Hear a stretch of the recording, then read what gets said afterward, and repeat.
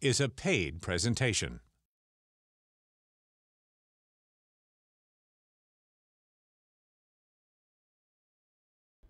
Wake up to the Word.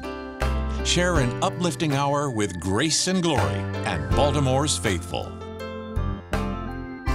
Well, good morning and welcome once again to Baltimore's number one gospel program, Grace and Glory, on this uh, somewhat somber Sunday, but yet we still take time to celebrate uh, God's goodness in spite of. Of course, 911 is no uh, secret to all of us. It, it changed uh, uh, the way we looked at everything in this country after the events happened a few years ago.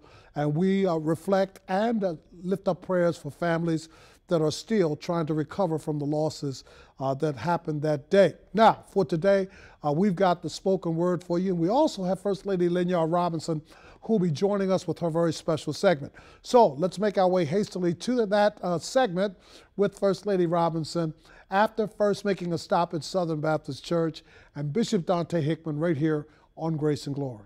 Welcome to the television broadcast ministry of Southern Baptist Church. And now a word from our pastor, Dr. Dante L. Hickman Sr. By the time of our text, the king of, of Jerusalem had heard about Joshua and the people of God and how they had defeated the armies of Ai and how they had overtaken the city of Jericho. And this particular king over Jerusalem at that time became even more concerned when the Gibeonites made peace with Joshua and the children of Israel. Gibeon, he figured, was a great city, and why did they go and make peace instead of war with the children of Israel?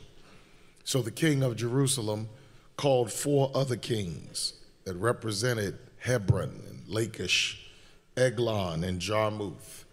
And they said to them that uh, we need to go and conquer the Gibeonites for making peace with the children of Israel. But while they were coming, the Gibeonites called on Joshua to come and help them to fight against the five kings and their overwhelming armies.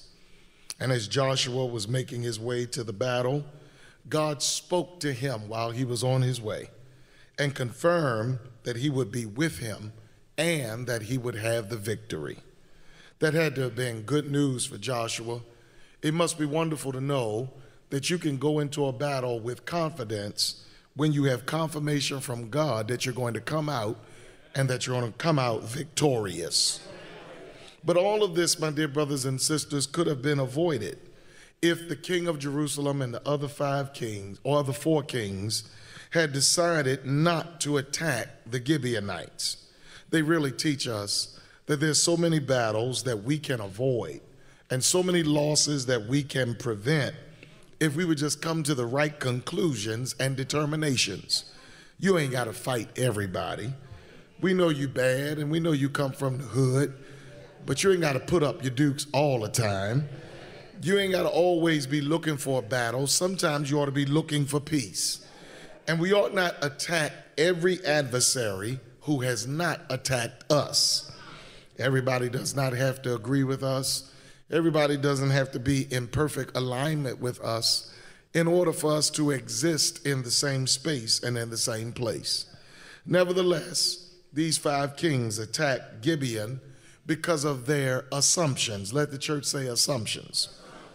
They assumed that because Joshua and the children of Israel had overtaken Jericho, defeated Ai, and made peace with Gibeon, that their territories would be taken next. They made a decision to fight based on their fear rather than the facts. And all of us need to take a lesson and learn that we should never make a decision out of fear over facts. History has taught us, and our experiences have taught us, that when we allow our fears to override the facts, we engage in wars where there are no weapons of mass destruction. When we allow our fears to override the facts, we give in to the myths and the prejudices about race, and all of a sudden we believe that white is right and black is bad. When we allow our fears to override the facts, we accept that the national deficit is too high to house the homeless, to educate every child, to rebuild our communities, and uh, to end economic disparities. But the deficit is low enough to build the prison industry, to send billions to Ukraine. Something must be over in Ukraine. And spend trillions on wars overseas. All I'm trying to tell us is that before you get in a fight you can't win, get the facts. Before you think somebody doesn't like you based on how you think they looked at you, get the facts. Before you judge someone based on what they look like on the outside, get the facts. And before you bet on who's going to win the Super Bowl this evening, get the facts. These, these, these kings attacked Gibeon because of their assumptions, but not only because of their assumptions, because of their arrogance. Let the church say arrogance. They failed to emulate the example of Gibeon by making peace. They knew about the peace treaty that the Gibeonites had made, yet they felt that they were in a position where they didn't have to compromise. They, they, they had gotten so strong and they had been where they were so long that they thought they didn't have to compromise with anybody. But I don't care how formidable and how comfortable you have become with who you are and what you have, never forget that it all belongs to God. Now everything you have belongs to God. I don't I don't care how you worked for it through your blood, sweat and tears. I don't care how many mornings you got up to go to that job. Everything that you've attained, everything you've achieved, everything you've accomplished, it belongs to God. And the moment in which you don't give God glory for what God has done for you, God knows how to take it from you and give it to somebody else who knows what to do with it. Have I got a witness here? You see, my dear brothers and sisters, the whole narrative of the Old Testament conquest of the people of God, anyway, was not about an angry God who decided to get his own people to go and destroy people who were unwitting and unknowing. No, it's about a God who created everything, but the occupants of what he created decided that he was not going to be their God. They disrespected him, they rejected rejected him, they ejected him, and then they made gods out of the things he created against him. And God said, No, it ain't going down like that. He said, Instead of wiping the whole world out for a few, I'll create somebody's out of nobody. I'll take them through a wilderness process. And then in the right time, I'll use those same people to overcome everybody that tried to overwhelm them. And, and the mistake, my dear brothers and sisters, that these particular kings made was in their determination to attack the Gibeonites for making peace instead of war. Now, now, you ought to know that you'll never get anywhere fighting somebody who really ain't trying to fight. They attacked the Gibeonites instead of the Israelites. Have you ever wondered why some people want to pick on people who ain't going to try to fight them, but when it comes to somebody tough, they don't pick on them? Oh, they ain't want no, they ain't want no stuff with the Israelites. They thought that the Gibeonites were weak and without help. And they thought that because they had the majority that they would prevail. But somebody here is a witness that our God specializes in overwhelming the majority. Our God is a God that can take one and put 1,000 to flight, and he can take two and put 10,000 to flight. And I don't need all of y'all to shout, but if I get two or three of you that can touch and agree in the name of Jesus, the Lord will show up and run a hundred devils out of the church. Have I got a witness here? All I'm trying to tell you is that if God be for you, he is more than the world against you. It doesn't matter who doesn't like you. It doesn't matter who's trying to come against you. It doesn't matter how strong or educated or how much money they have. You can be a little old nobody from nowhere, and God will still keep you, protect you, and before you know it, you'll look around and you'll still be alive, and they'll be dead and gone. Preach, Dante. They, they attacked. They attacked the Gibeonites because of their assumptions. They attacked the Gibeonites because of their arrogance, and then they attacked the, the Gibeonites because of their acquiescence. Let the church say acquiescence. Yeah, if that was your first time saying it, you just spoke in tongues. When the king of Jerusalem heard about Joshua's conquest, he conspired and pulled four other kings into his fight. He was so insecure and so inferior that he projected his own fears on the other people who were just minding their own business. And I'm trying to tell you, you got to be careful super careful about allowing other people to pull you into their battles. Some of y'all right now don't like somebody because your girlfriend don't like somebody and you don't even know there's somebody that they don't like. You don't even know why you don't like them. Let me give you a, a study of Negroology 101 the person you don't like because your girlfriend don't like them will be the person that will end up being your girlfriend's best friend and both of them won't like you. Preach dante all I'm trying to tell you is you got to get to know people for yourself before you believe everything somebody else said about them. Too many of us are in a mess because we let somebody else drag us into their mess. Too many of our young boys are locked up in jail because they allowed their friends to drag them into beefs that didn't have nothing to do with them. Too many of them are dead and sleeping in their grave because they hung out with people that thought that the neighborhood belonged to them and they don't even pay taxes. How you to claim the neighborhood and you don't pay the water bill, you don't pay the tax bill, you don't pay the property insurance, you don't pay a rent or a mortgage? Negro, please. All I'm trying to tell you is you got to pick your battles beyond your friends. And if you got some friends that all they do is stay in a mess, all they do is stay in a beef, all they do is stay in a fight, you need to find you. Thank you. Subsequently, subsequently, the kings got themselves in a battle that they could not win. And whenever you decide to go against God's people, you will be fighting a losing battle. Because the Bible says, touch not my anointed. Do my prophets and my servants no harm. Not just the preachers, but the people in the pew. Keep your mouth off of God's preachers and keep your mouth off of God's people.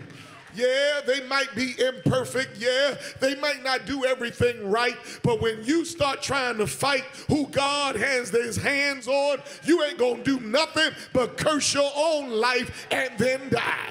Jesus said it would be better if a millstone would be tied around your neck and you drowned in the sea than to mess with one of my little children. It doesn't matter how many people you have on your side if God is not on your side. The Bible says, and I'm almost done, that Joshua led the people in the battle. And surprisingly, that day, they were slaughtering most of the armies of the five kings, and they put them on the run. And while they were running, God caused a hailstorm to kill more people than Joshua did, did by his hand and his sword. And as the day was about to become night, Joshua prayed that the sun and the moon would stand still to give him enough daylight to finish the fight. Now, some scholars say his language was that the sun and the moon ceased from acting so that the earth could uh, prevent the night from coming on. And then other folks say he just didn't understand earth science because the sun don't move and, and neither does the moon. And some of y'all just learned that for the first time. Don't tell nobody. But that the earth moved on its axis. Nevertheless, I don't care whether he was smart or ignorant. What I do know is he prayed a big prayer to a big God who essentially granted his request. And I stop by to tell you, you may not know all the words of prayer. And you may not know the specificity of your prayer, but I dare you to tap somebody and tell them God knows what you mean. And God knows what you need. Because when I read this text, God caused the earth to be still. And God caused time to stop. And God caused daylight savings time to take effect. So to teach us that we should never be afraid to ask God for something big. Ask God for something supernatural. Ask God for something humanly impossible.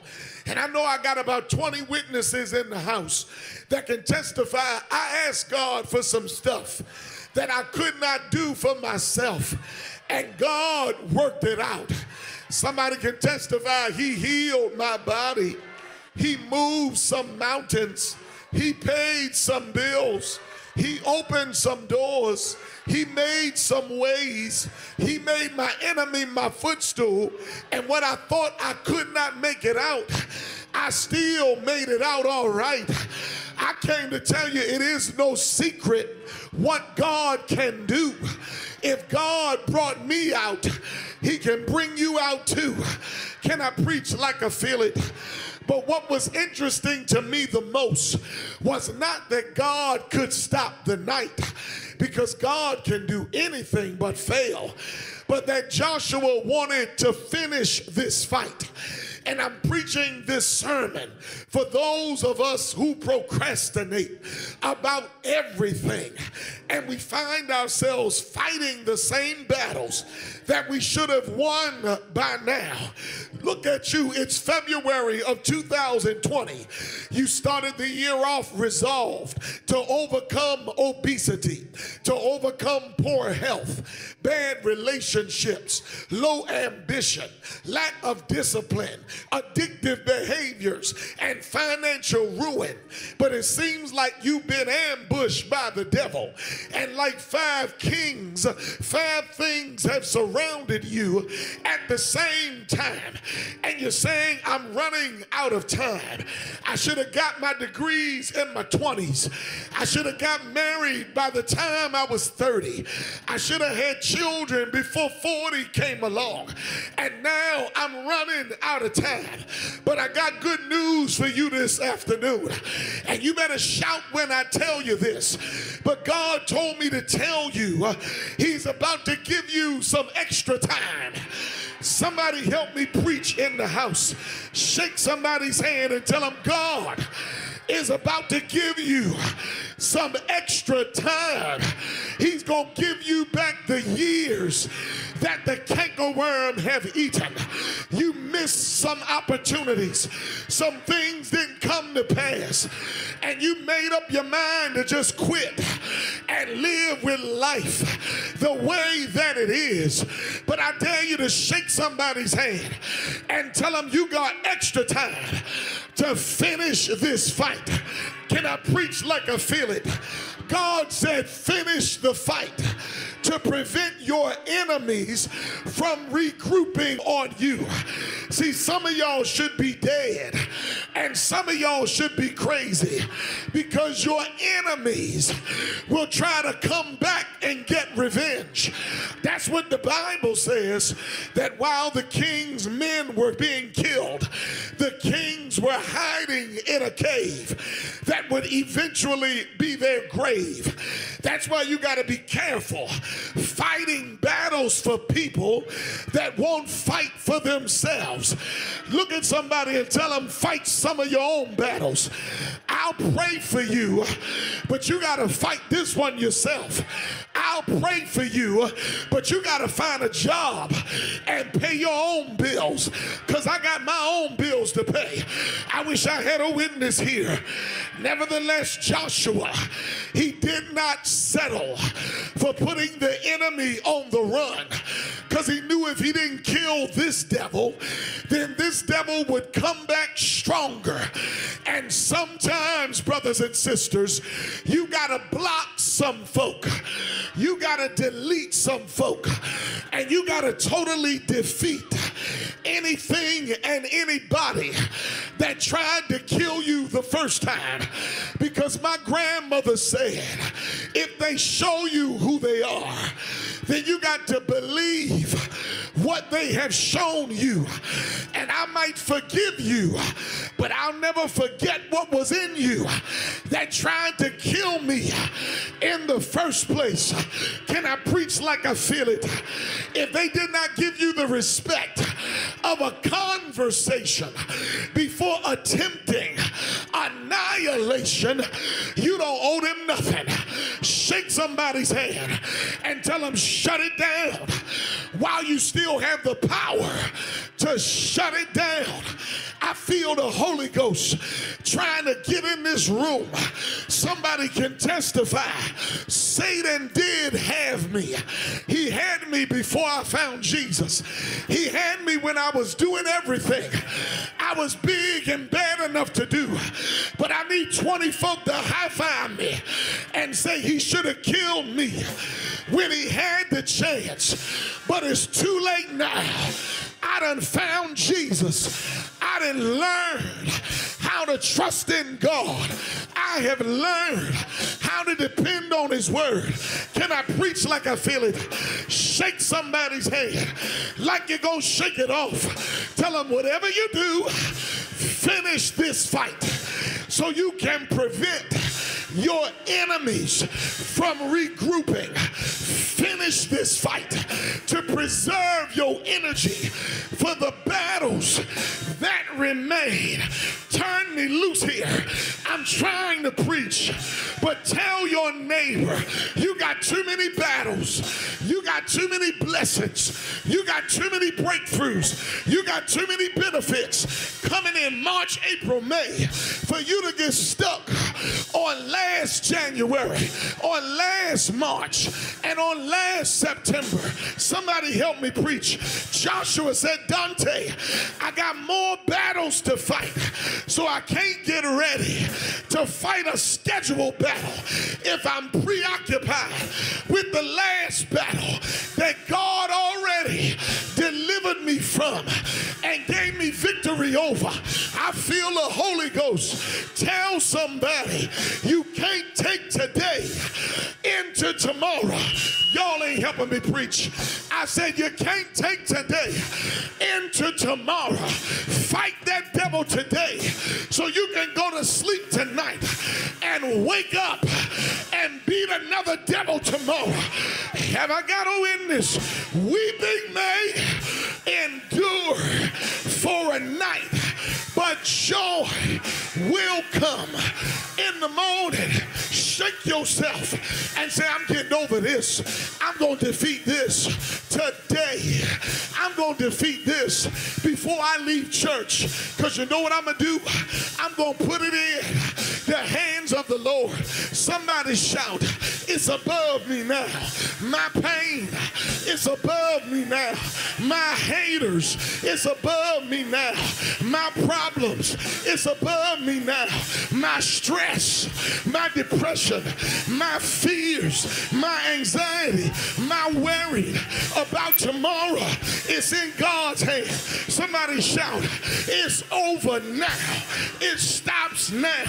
The devil is defeated. Somebody shout. Somebody praise him like you know that you know that you know that you know it's over and the best is yet to come.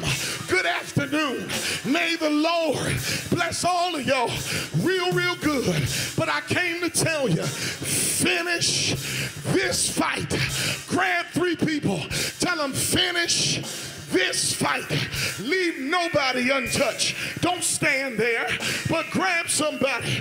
Tell them whatever you do, finish this fight so you can praise your God and enjoy your rest. Yeah. Remember that Israel did not come to start a fight, but they came to help somebody else who was in a fight. But when the battle was over, they went back to Gilgal. Somebody shout Gilgal. Gilgal was their place of sanctuary. Gilgal was their place of rest. And every now and then, every now got to pause to thank God for the battles He helped you to win.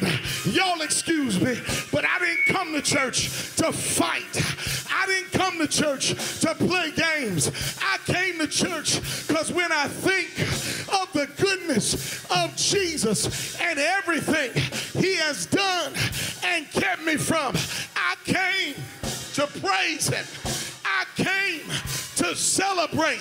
I came to lift my hands.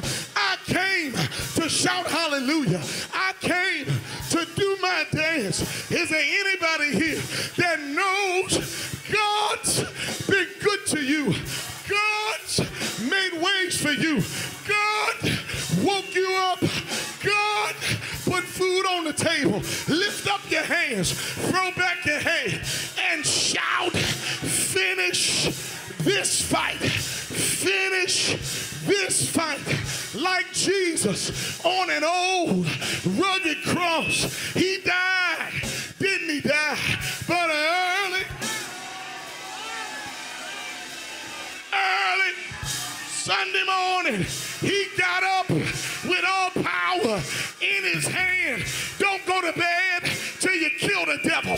Don't go to bed with stress in your head. Finish.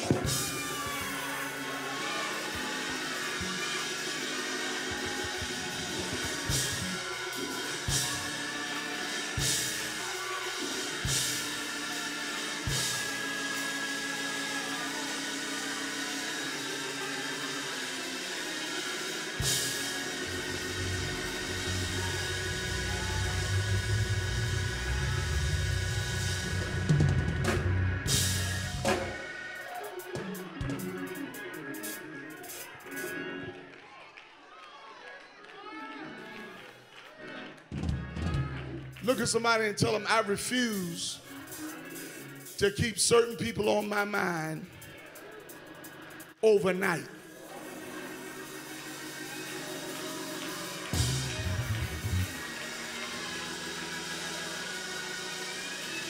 Come on, come on, look at somebody and tell them, you might go to work with me, but you ain't going home with me. You ain't going to bed with me, and you ain't going to church with me. This is the day that the Lord had finished that fight.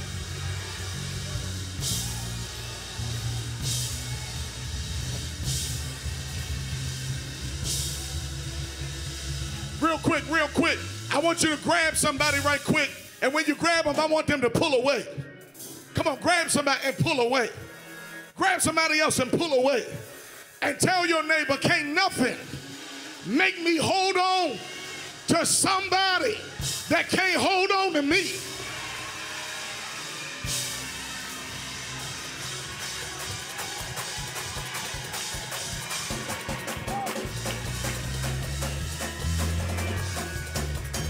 You can't hold this. You can't hold this. You can't hold this. You can't hold me back. You can't hold me from my favor. You can't keep me from my future. The devil is a liar. You've been watching the television broadcast of Southern Baptist Church, where Dr. Dante L. Hickman Sr. is the pastor. If you desire to purchase a copy of this week's broadcast or any of our other media treasures, please call our media ministry at 410 732 8566. God is so good. God is so amazing and God is so faithful. And I'm so excited that you are joining us this morning for the women's segment of Grace and Glory. As you know, I am Pastor Lady Linyar Robinson of Dream Life Worship Center right here in Randallstown. And I, as always, am, I am so blessed to be beginning my Sunday morning with you. And today I am again, from time to time, I feature new authors. And today I am featuring a new author, and I'm so excited for her to be with us to share her story. All right, she's been with us before. And good morning and welcome, Danielle Giddens. Good morning. Thank you for having me, Lady. I'm so glad to have you. For those of you all who are viewing, um, I've had Danielle has been our guest before.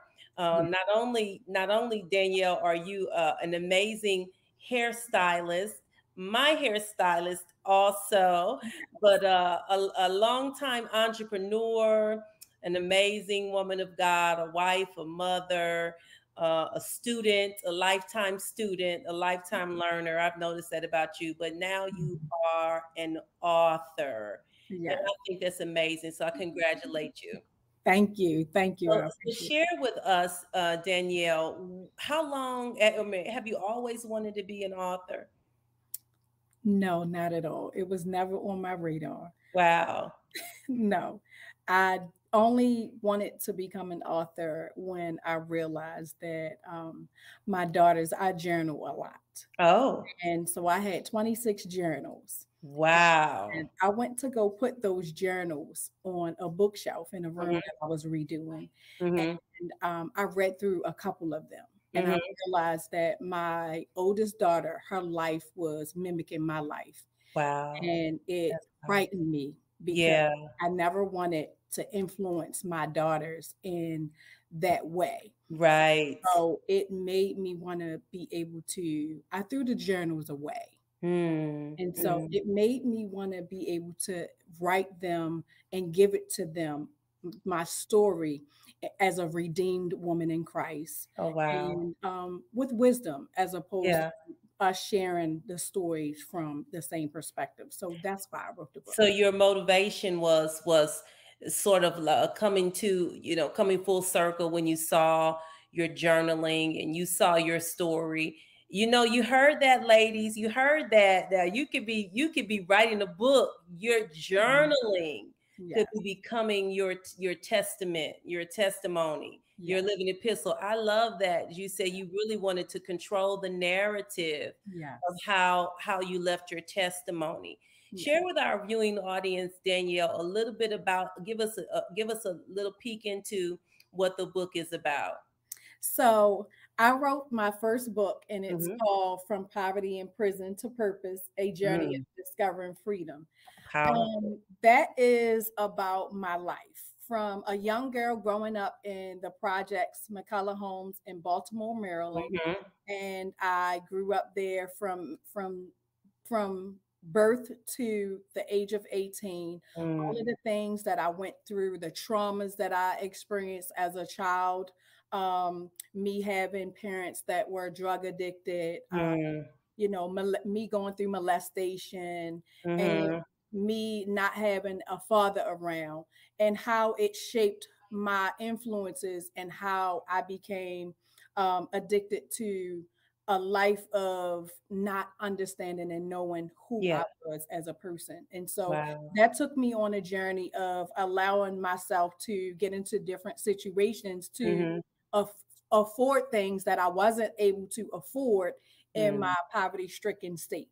Mm. And so that's where prison came into play. And Wow. then with um, me being into prison, how, you know, my cellmate wound up being a woman who gave me the Bible to read. Wow. And so just, you know, God being in all of those places and, and that woman saying, Hey, I'm gonna give you this while you're in this valley place. And so Absolutely. you know, just being able to walk in my purpose, leaving Mhm. and just feeling redeemed as a woman now, you know, for me to be able to share my story with other young girls so that they won't make the same mistakes that I've made through life. Um, when you experience these traumas in Yeah. life, they're they're they're more common than we we you know tend Yeah. to. That's powerful, Danielle. I heard you say the word redeemed several times. And I can't help but be reminded of the scripture, let the redeemed of the Lord say so. And I would I would agree that you are saying so in in the writing of your book. You are you are telling your story and letting your light shine. And uh, it's one thing to share your story with your daughters, those to close around you, but to tell the world about it, to tell the world about it, that is really something very powerful that I think that all of our ladies who are listening today uh, can and can sort of consider. You know how powerful our voice is. Yes. Do you do you do you feel a- sense of empowerment, or more empowerment after you have shared your story in book form? I do. Um, I will say that um, this book took me three years to write. Mhm. In those three years, there were times where it was just me and God, and I was actually healing through some of the things that I had Mhm. spoke about for the first time and Mhm. when I was writing those pages. And so it was a journey of me going back and and and opening up those things that I locked and healing through them. And so I do feel like that this was a journey that God has taken me through, and that when I felt his presence, when I would sit Yeah. there and be like, God, help me through this, you know, I Mhm. always felt as though, you know, that I was empowered because I felt like God walked me through this because I was still like, oh my gosh, you want me to tell them this? Right, Like, right. was- I was trying to keep some stuff to myself, but Yeah. the Lord was like, no, I need you to put it in. But the power was in telling it. It was in telling. They overcame the the wicked one, the scripture says, Yeah. by the blood of the lamb and the word of their testimony. Well, Danielle, let our viewers know, please, how they can stay connected to you. And I thank you so much for taking your time out to oh, share with us you. today. But let everybody know how they can connect with you, how they can, you know, so that they can get the book, so they can follow you, so they can get connected and get inspired. Amen. And so they can do what God called them to do as well. Thank God for you. Let them know how to get get connected to you. So you can find me on Facebook, Instagram, LinkedIn, and YouTube as Danielle C. Giddens. That they are all of my handles um, for social media. My book is on Amazon. Let us see it again. Yes, this is my little baby. Mm-hmm. this is my book cover. It's on Amazon. You can find it at um, or you can find it on my website, which is www.daniellecgiddens.com. Thank you so much, Danielle. I cannot much. wait to see where this is going to take you and how, most of all, how many lives it's going to bless. Thank you so much for joining us today. Good morning and welcome to the Catalyst for Life televised broadcast, brought to you by the Word of Life Christian Community Church, where the pastors are Dr. Jermaine Johnson and co-pastor Elder Michelle Johnson, where we believe that it all begins with the Word, for the Word is life. Somebody thank God. As we begin this sermon series, Getting My Life Back, I want to preach for the first installment Never Settle. Somebody say, Never Settle. Before you go to your seats, look at your neighbor and say, Good morning. Tell them I'm in process of getting my life back. I have a word to never settle. Come on and put your hands together and give God praise. Never settle. You may be seated in the presence of the Lord. Never, never settle.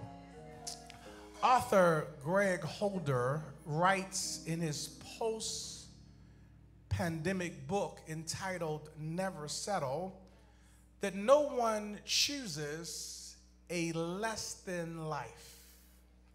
Holder suggests little by little, we start putting down roots in a land that is less than satisfying.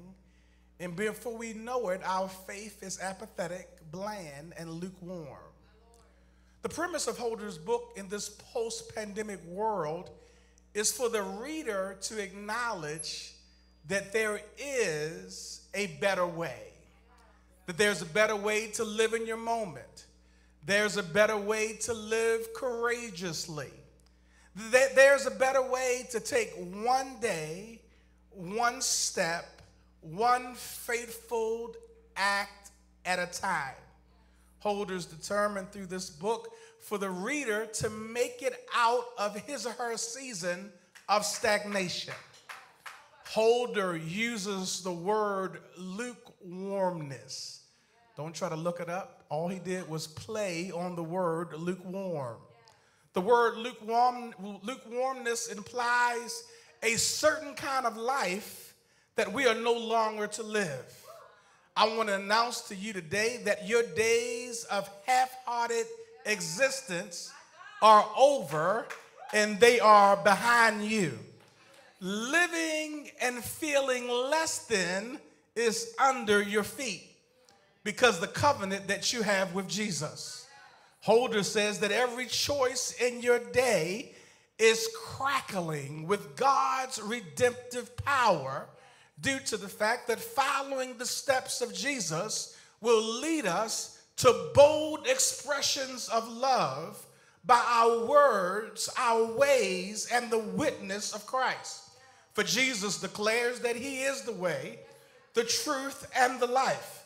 No man comes into the Father except by him. And in this day, we need bold expressions of love. We need bold executions of life. We need bold exercises that life is worth living. We need bold exercises to demonstrate to all generations that, that, that we are a community and we don't have to settle everything by picking up a gun and going to a school and, and messing up life for everybody. We, we, we don't have to have bold, we have to demonstrate uh, the greater good of humanity that we set policies and, and administrations for the greater good of humanity, not just uh, our own self interest, uh, but for the interests of others. Y'all, we have to have bold uh, expressions of life and love as we inspire communities, as we influence nations, as we impact countries. We need uh, the disciples of Christ, y'all. That means you, uh, to come in compliance uh, with his word and his ways uh, and allow the impact uh, of God's words and ways uh, to be a witness. and just as it changed your life, watch the body of Christ uh, turn the world upside down. Do I have a witness uh, in this house that realizes, that can testify that since Jesus uh, came into my life, my life has never been the same. The things uh, that I, I, used to cry about, now I can laugh about. Uh, the things that were a sense of discouragement, now some kind of way, God uses those things uh, for my destiny. It's in Matthew uh, 6.33 where Jesus says, seek ye first the kingdom of God and his righteousness and all these things uh, shall be added unto you. We will settle. We will no longer settle for less, uh, but we will choose God's uh, more glorious way. Somebody say, I ain't settling for less. I'm going to choose God's more glorious way. It may take longer, it may be more painful, but I've learned with God that it will be eternal, it will be sustainable, it will give me peace. In the midst of the storm. Somebody say, God's way is the best way. Uh, look at your name and say, God's way is the only way. And I'm choosing uh, God's more glorious way. And holders suggest that if we make our choices and our chain reactions, uh, that it will give us the strength uh, that we can stand and declare, I'm never settling. Somebody say, I'm not settling for less. God has more for me. I want God's best. Can you encourage yourself and say, I deserve because I'm in covenant with God. I deserve his best. That's not a sense of entitlement. That's because because I know who my father is and I know who I'm connected to. I deserve God's best is on schedule for me. And Holder suggests that the way out is in our ability to keep moving forward. Good God Almighty. Somebody declare the way out is for us to keep moving forward. That, that our choices and our chain reactions, uh, it implies that we're moving, that I'm a moving target, even though, though I don't feel like moving, even though uh, I'm fighting the, the, the spiritual warfare, I'm fighting uh, the desires of my flesh, I'm fighting myself some kind of way, I'm still moving in my mind, I'm moving in my physicality because now is not the time to put down roots in the safe and the predictable. But in this ninth month, in this year of restoration, the first step for all of us is to refuse to settle for less because greater is on the horizon. If you don't know it, you are pandemic proof. You made it through a virus that killed millions. And look at you still in your right mind. How you knew life was turned upside down. Your church, your job, your money, the way you went about life. But look at you. You made it out of that storm. Come on, what drove many crazy? You here with a praise on your lips.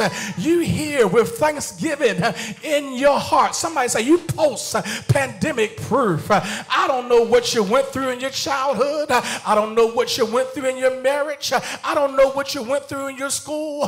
But I'm trying to tell you, you're post storm. You've come out of some stuff that have drove others crazy. But here you are aligned and ready for what God has for you in the next season of your life. I want somebody to take a quick flashback uh, over the last uh, 24 months. No, scratch that. Take a flashback uh, over the last 12 months. No, scratch that. Take a flashback over the last eight months. No, flash that. Can you thank God for what He's done over the last eight hours? How He's kept your mind in spite of all that life has thrown at you. Somebody say, I'm getting my life back because greater is on. Greater is on the horizon. As we arrive on the scene of our text, we we have entered the gospel of the greater. Whenever we see the gospel of John, we know that greater is on the horizon. John's gospel is a gospel that is written some uh, 35, 40 years after the synoptic gospel. Synoptic gospels are called Matthew, Mark, and Luke. Pastor Michelle mentioned this earlier. Many of their gospels, Matthew, Mark, and Luke, they focused on a Greek word called dunamis, which means dynamite, which talks about the explosive power of God. They told uh, the genealogy of Christ. They talked about the history of Jesus. They, they talked about various aspects of the person and work of Jesus. But when we get to the Gospel of John, John writes his Gospel uh, some 35 years later. And the fact that Matthew and Mark covered some things, John wanted to tell you that there is more, that you don't have to settle for this, but there is so much more that I can tell you about Jesus. I, I know what you read in Matthew, Mark, and Luke, and there have been some wonderful stories about the woman being healed with the issue of blood. That was a great story. About Jairus' daughter being healed. Y'all, that was a great story. It was a great story of how Jesus came through 40 and two generations. And all of that express the power of Christ. But by the time we get to John's gospel, he uses a word called semeion, called signs that points you and I to the greater. He's letting you know that the power in your life, the power of Christ has been established. Now I'm going to instruct you and direct you how to maximize that power for the greater in your life. So he uses a sign, and every sign that Jesus in the Gospel of John, it points you and I to the greater. Good God Almighty. Can I tell you that if you miss something, you got the power. You've seen the power of how he can snatch you out of death into life. You've experienced the power of Christ, of how he took you out of depression, and you are sitting here with the peace of God resting upon your life. Can I tell you, you graduated from certain seasons of your life. Now, God is giving you the tools to execute that power that you can make your way to greater. Somebody shout greater. I ain't selling for just understanding the power, but I want to know how to use that power. I want the power to work in my life. I want the power to be evident that I can walk and work in my discernment. I can work in my gifts. I can walk in my authority. I can pray heaven down no matter the condition. I can walk in an atmosphere and change the atmosphere. I can make the young lady or the young man come into alignment to show them that I'm God's king. I'm God's queen. I'm trying to tell you, you've graduated to another level, and now God is giving you the tools that you can see yourself differently. I'm going into the room knowing and seeing, God, what it is that you're trying to show me through this relationship. What is that you're trying to show me through this storm? I'm trying to help you that even through this sickness, I know it's not unto death, but God's going to get glory out of my life. Somebody say, He going to get glory out of my life. Even in the midst of death, He's going to walk with me through the valley of the shadow of death. I'm trying to arm you that you're no longer an entry level Christian uh, sipping on milk, but God has expectations uh, of you uh, that you can live and digest uh, the solid food of God. That as you enter into this season, I'm getting my life back, not the life that I lived five years ago, but He has greater for me because greater is He that lives within me than He that's in the world. Everything about your life is about to be different. Everything about your story is going to be elevated. You can't even go to work without walking in your greatness. You're not even going to go to the bank without walking in your greatness. The next date you go on, you go on with greatness, knowing what God has for me. Somebody declare, as for me and my house, we will. John's gospel is the gospel of acceleration, multiplication, and demonstration. It's a gospel that teaches and preaches and demonstrates. Somebody say miracles, signs, and wonders.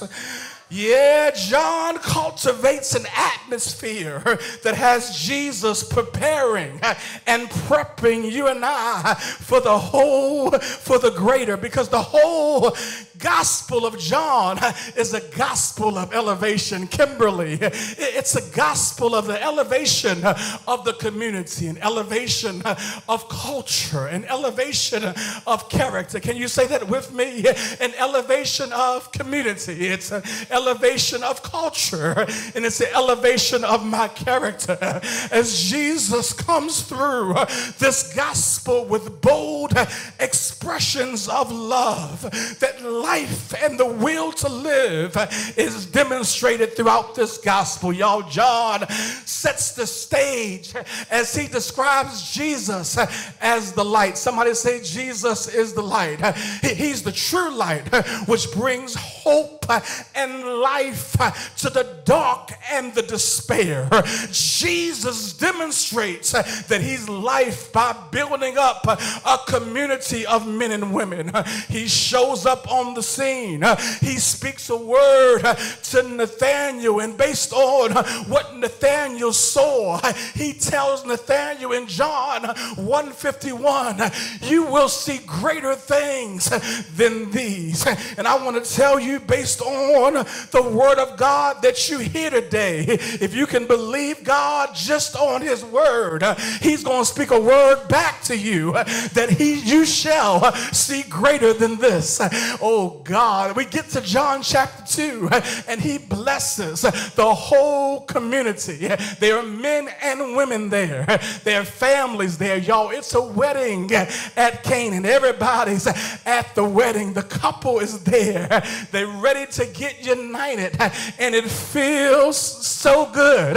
Y'all, they ready to be excited. But all of a sudden the couple runs out of wine. Jesus, some kind of way through the pressing of his mother, he works a miracle and turn water into wine. And John 2 and 12 says that this is the beginning of signs that Jesus did in Canaan of Galilee. I want to tell you, as your eyes begin to open, as your heart begin to shift, this is the beginning of an entirely different season for you. We are in the ninth month. We are in the month of birthing. We are in a new season. We're about to enter a new quarter. Now, John chapter 2, this turning of wine was simple, simply a, a, a turning of joy. The, the wine represented joy. And when the people ran out of wine, It symbolized that they had lost their joy. Life had gotten the best of them. Stagnation began to take over. But when Jesus shows up, can I tell you that your joy is going to be restored, that your life is going to be restored? Don't sweat it. Don't argue about it. Don't stay there too long. I'm telling you, Jesus is on your case. And if you're crazy enough to believe me with whatever you're going through, I dare you to open your mouth and give God praise to let you know that Jesus is working on your case. Whatever your issue, Jesus is on it. Whatever concerns you concerns him. Somebody thank God that I'm in process. Oh God, somebody say they're working on my stuff. My stuff is being made. Why? Because special orders take special time. Look at somebody and say, special orders take special time. Years ago, I remember Dennis, Dennis Proctor telling a story about McDonald's and he had to pull over. I couldn't understand the other day. Wasn't anybody in line about a week and a half ago. I uh, just got simple. I got a fish sandwich and fry and, and a drink. Wasn't nobody in line. And I uh, couldn't wonder, wonder why they asked me to pull over. Wasn't nobody in front of me. Wasn't nobody behind me. You know, and I just wanted a fish sandwich, add lettuce, and that's it. Nobody in front of me, nobody behind me, but they asked me to pull over. And I, when I pulled over, I, I, asked them, I said, Well, why did you ask me to pull over? He said, Well, sir, uh, special orders take special time. And I wonder, you, you've been frustrated, but I want to tell you that you've been putting in some special orders. In, in the midst of your weariness, I want you to know that it takes special time. So as you're pulling over, know that God is working on your special order because it takes what? Special time. And hallelujah. And then when you get it, you know it's going to be freshly made. You know it's going to be designed just for you. You know it's not a sandwich they didn't have sitting around all day. Somebody thank God that I'm operating in my special order. Oh, thank the thank the name of Jesus for my special my special one. Throughout the Gospel of John, Jesus is demonstrating for us in chapter 10 of how he's being the good shepherd. Well, hope you've enjoyed the program today. Again, let us remember and never forget why 911 will never be the same for us as it relates to this country. Thank you for spending this time with us. Before we go, just want to remind you we're excited about the Towson African American Festival. We'll be hosting the gospel stage on this coming Saturday, the 17th. Uh, we also have our cruise uh, that'll be taking place. You can get more information about the cruise as well as the wonderful lineup of artists that'll be joining us. You don't want to miss this year's festival. It's going to be awesome. But to get all the details, to make plans to join us on the 17th, both the cruise as well as the festival, go to heaven600.com. That does it for me. Hopefully, uh, if you don't have a place to attend for fellowship this morning, you might consider an invitation to join us at 3600 Edmondson Avenue. If not, we'll look forward to connecting with you tomorrow morning on Heaven 600 and next Sunday right here on Grace and Glory. Until then, continue to walk in His grace and live in His glory, and we'll see you then.